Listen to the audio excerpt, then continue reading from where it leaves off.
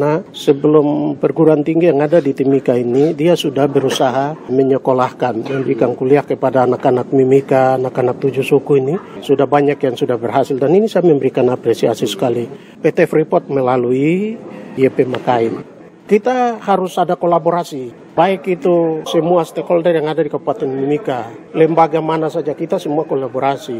Apalagi perguruan tinggi yang ada, kita bersinergi untuk membangun Mimika, membangun SDM, sumber daya manusia yang ada di Kabupaten Mimika ini. Dan juga khusus untuk anak-anak bangsa yang ada di Mimika ini, lebih bagus memilih beberapa perguruan tinggi yang ada di Timika ini. Karena semua ini sudah punya akreditasi. Kalau mau jadi guru lebih bagus masuk saja di Stiki Permonti Mika. Dan juga kalau mau belajar tentang ekonomi, jembatan bulan sudah sedia. Menyangkut teknologi yang lain, contoh macam Politeknik Mamapare. Mau masuk geologi tambang ada di situ. Dan juga di Universitas Timika.